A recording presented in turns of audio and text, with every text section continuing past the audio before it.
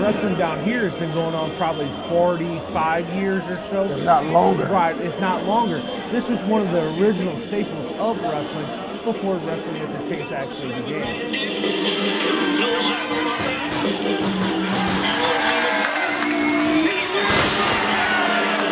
You know, coming to the South Broadway is one of a kind.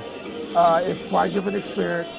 The crowd is just is just unbelievable. It's up close action. It's just a friendly atmosphere. It's affordable. It's family entertainment.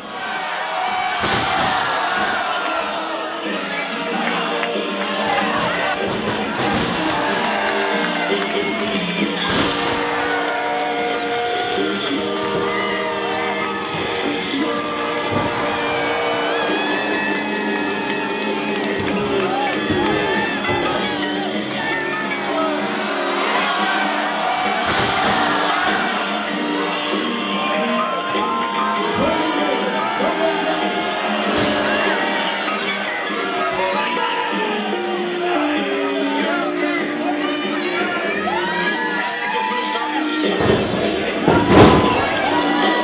need one more match to settle who's the best.